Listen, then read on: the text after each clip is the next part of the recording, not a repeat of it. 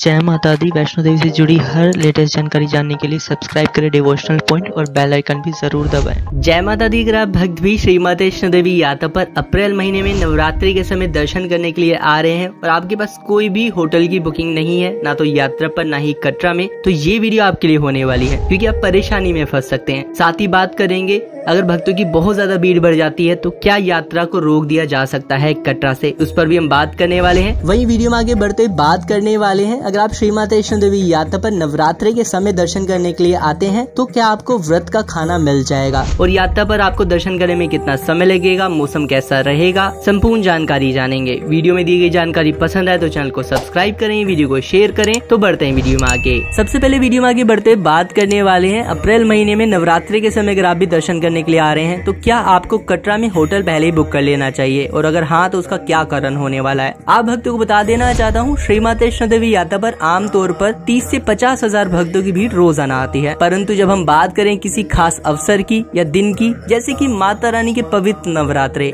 इससे खास अवसर क्या ही हो सकता है? माता रानी की यात्रा पर माता रानी के पवित्र दर्शन करने का। ऐसे ही कुछ लाखों श्रद्धालु सोचते हैं माता रानी की यात्रा पर आने के लिए। इसलिए श्री माता वैष्णो देवी यात्रा पर आने वाले भक्तों की संख्या नवरात्रों में लाखों श्रद्धालुओं को प्रतिदिन पार कर जाती है, जिसकी वजह से कटरा में आने वाले श्रद्धालु जो होटल लेना चाहते हैं, काफ़ी कॉस्टली होटल मिलते हैं। ऐसे में मेरा भक्तों के लिए सुझाव रहेगा, कोशिश करें आप ऑनलाइन पहले ही बुकिंग कर कर आए होटल की, कटरा के लिए भी, जिससे की आप भक्तों को परेशानी कम से कम हो। अभी आगे बढ़ते बात कर लेते हैं, यात्रा पर जाने के लिए आपको चाहिए होता है आर कार्ड, जो की श्राइन बोर्ड ने हाल ही में ही यात्रा पर्ची से रिप्लेस कर दिया है, यानी कि बदल दिया है। तो बात कर लेते हैं कि क्या आर एफ़ कार्ड आप घर बैठे ही ऑनलाइन बुक कर सकते हैं। अगर हाँ तो किस प्रक्रिया के तहत आप उसे बुक कर पाएँगे? अगर आप भक्तों को मेरे द्वारा दी गई जानकारी पसंद आ रही है तो चैनल को सब्सक्राइब करना ना भूलिए, वीडियो को भक्तों के साथ शेयर करना ना भूलिए, साथ ही ये भी बताना ना भूलिए, आप यात्रा पर कब जाने वाले हैं। अभी जिमा आगे बढ़ते बात कर लेते हैं काफ़ी मुख्य जानकारी के बारे में, जो की होने वाली आर कार्ड से जुड़ी। क्या आपको श्री वैष्णो देवी यात्रा करने के लिए आर एफ़ कार्ड लेना अनिवार्य होगा? ये काफ़ी बड़ा प्रश्न होता है। अगर लेना चाहिए तो क्या हम इसे ऑनलाइन भी ले सकते हैं? इसके बारे में भी हम बात करने वाले हैं। आप भक्तों को बता देना चाहता हूँ श्री वैष्णो देवी यात्रा साढ़े तेरह किलोमीटर लंबी यात्रा है, जो की कटरा से शुरू होती है। ऐसे में जितने भी श्रद्धालु श्री वैष्णो देवी यात्रा करना चाहते हैं, उनको अपना रजिस्ट्रेशन कराना होता है। रजिस्ट्रेशन कराने के लिए भक्तों को ऑफलाइन ही, यानी कि खुद ही कटरा या जम्मू आना होता है, जहाँ से उन्हें जगह जगह से आर कार्ड मिल जाता है। आर कार्ड दरअसल एक ऐसा प्लास्टिक का कार्ड होता है, जो की श्राइन बोर्ड द्वारा तो आपको निःशुल्क दिया जाता है, यानी कि फ्री में दिया जाता है, परंतु इसके अंदर एक चिप लगी होती है, जिसके अंदर आपका डेटा स्टोर हो जाता है, आपका फ़ोटो खींचा जाता है, आपका कुछ नाम, पता एड्रेस मोबाइल नंबर उसमें भरा जाता है, जो की श्राइन बोर्ड के अधिकारी आपसे पूछ के भरते हैं। इसके लिए आपको काउंटर जगह जगह मिल जाएँगे, जैसे की आप बात करें जम्मू रेलवे स्टेशन के पास में, जम्मू एयरपोर्ट पर, कटरा रेलवे स्टेशन पर, कटरा चौक पर, साथ ही साथ आपको तारकोट मार्ग पर भी इसका काउंटर मिल जाएगा, और अंत में आपको कटरा हेलीपैड पर भी आर काउंटर मिल जाएगा। ऐसे में आप सुबह पाँच बजे से लेकर रात को दस बजे तक कभी भी कटरा में जाके आर एफ़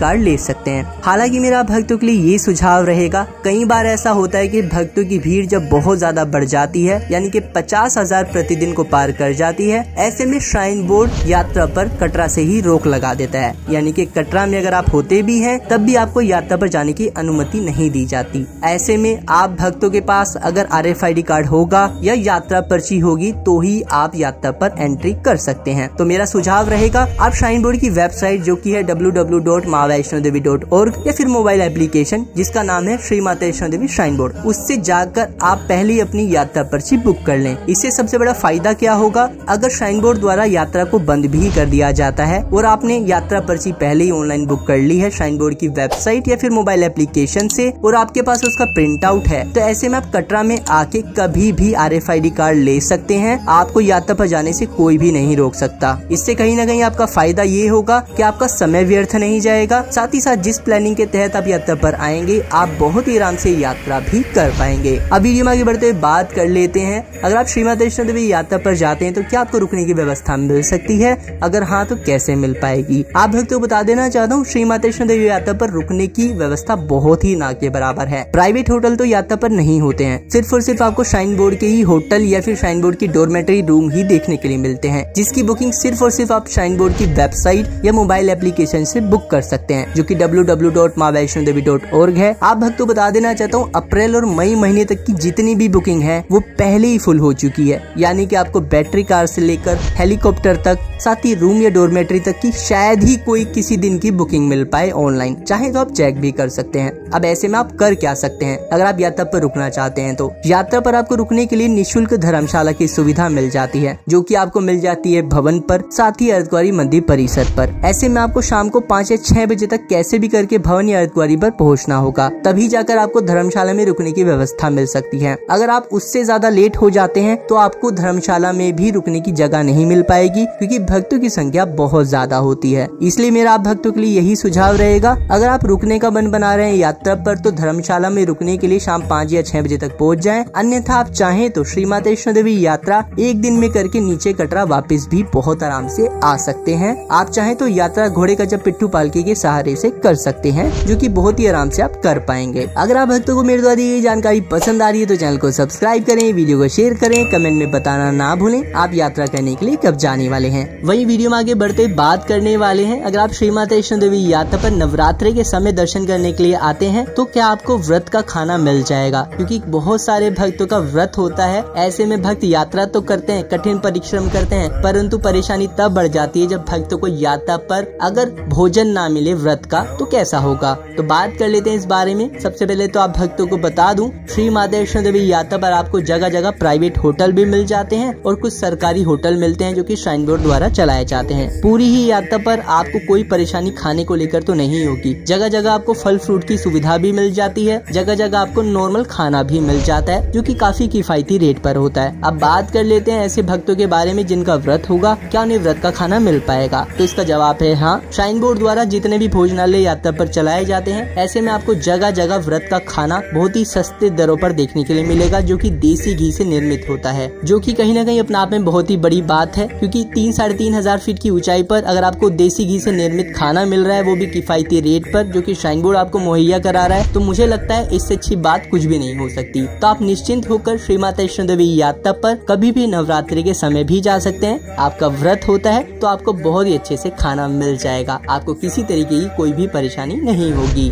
अब वीडियो में आगे बढ़ते हुए बात कर लेते हैं कि माता रानी के भवन पर आपको दर्शन करने में कितना समय लगेगा। साथ ही माता रानी की पवित्र अर्धकुआरी मंदिर परिसर में, यानी कि गर्जुन गुफा में दर्शन करने के लिए कितना समय लगेगा। आप भक्तों को बता देना चाहता हूँ, माता रानी के भवन पे आपको दर्शन करने में डेढ़ से दो घंटे से लेकर तीन घंटे तक का भी समय लग सकता है। ये मैं क्यों बता रहा हूँ? क्योंकि भवन पर आपको काफ़ी भीड़ देखने के लिए मिलती है। आमतौर पर देखा जाता है कि यात्रा पर जब भीड़ बढ़ जाती है तो दर्शन का समय भी काफ़ी ज़्यादा बढ़ जाता है। ऐसे में कहीं ना कहीं श्राइन बोर्ड पहले इस चुनौती को समझ रहा है। तो इसलिए आप जब भी भवन पर जाएँ तो गेट नंबर पाँच और गेट नंबर तीन से कहीं से भी आप दर्शन कर सकते हैं। आपको रोका नहीं जाएगा। ये मैं आपको बता रहा हूँ गेट नंबर पाँच से भी आप बहुत ही आराम से दर्शन कर पाएँगे। बात करें अर्धकुआरी मंदिर परिसर की, यानी कि गर्जुन गुफा की तो आप भक्तों बता देना चाहता हूँ, वहाँ पर आपको दो से ढाई दिन तक की मिनिमम वेटिंग देखने के लिए मिलेगी। यानी कि आपको अगर अपना नंबर लगाना है अर्धकुआरी मंदिर परिसर के लिए तो अगर आज एक तारीख है, आप एक तारीख को पर्ची लेते हैं तो कहीं ना कहीं आपका नंबर दो तारीख की रात को,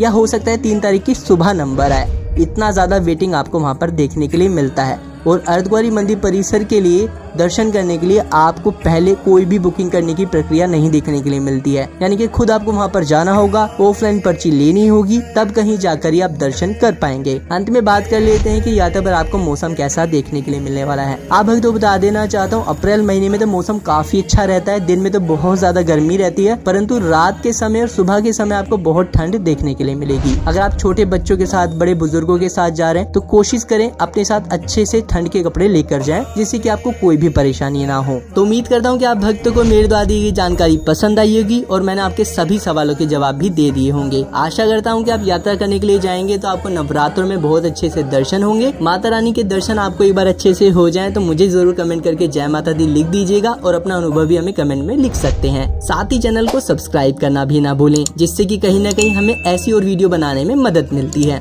वहीं अगर आप चाहते हैं यात्रा से जुड़ी रोज़ाना ताज़ा तस्वीरें, पिंडी रूपी दर्शन प्राप्त करना तो आप हमें इंस्टाग्राम और फेसबुक पर भी फॉलो कर सकते हैं, जिसका लिंक वीडियो के डिस्क्रिप्शन में साथ ही आपकी स्क्रीन पर भी मिल जाएगा। तो मिलते हैं अगली वीडियो में, तब तक के लिए जय माता दी।